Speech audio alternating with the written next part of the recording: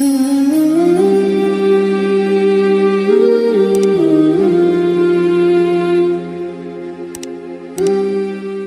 دې باندې موږ الله ګوا کوو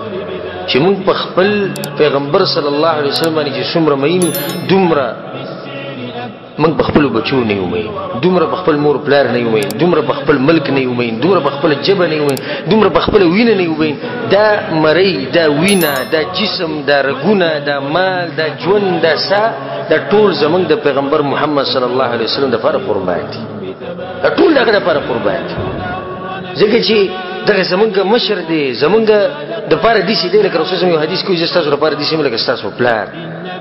پیغمبر د امتیانو لپاره دي چې لکه پلار زمونږ پلار زمونږ چې کوم خپل پلار دی هغه چې موږ سره کوم خېګړه کړې ده رسول الله صلی موږ سره کوم خېګړه کړې ده زمکه عثمان فرق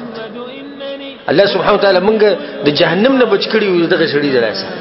الله سبحانه وتعالى موږ د شرک او د کفر نه بچ کړی یو دغه شړی دراسه اوس موږ مولیاد بالله چې د بوتانو ته پراته موږ هم چې د غواګانو عبادت کو موږ هم چې د صلیب ته پراته موږ هم چې د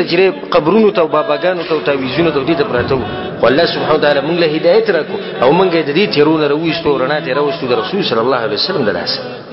دا هغه په سبب باندې هغه په کې ذریعہ جوړ کړ هغه په کې وسیله جوړ کړ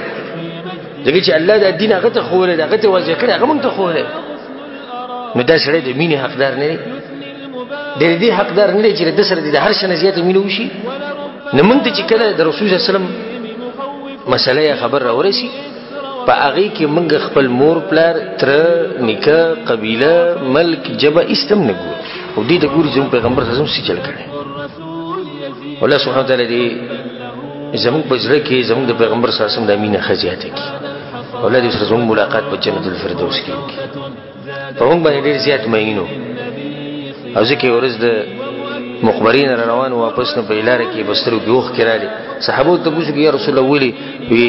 ما ته خپل رونه رايات شو هغه ته رسول الله منګه ستا رونه مو خو سره خو کوي نه تاسو اصحاب تاسو زما مرګري تاسو مقام ډیر اوچت رونه زما غدي چې هغه زمانه بعد راځي او په ما به ایمان راوړي او زیری درې نه خلک را ترې چې د بسن خلک موږ به دومره مې چې په هغه ټیم کې موږ یې دی وسر کې وخت راځي تا کوم ورځ یاد کړې ستا وسر کې وخت راځي تا کوم ورځ دغه په طریقه باندې عمل کړي د علما وازونه بوغ شو چې د رسول صلی الله علیه وسلم سنت دا دي دغه طریقه دا کسان بر پاس نه زموږ علاقه کې څوک نه کوي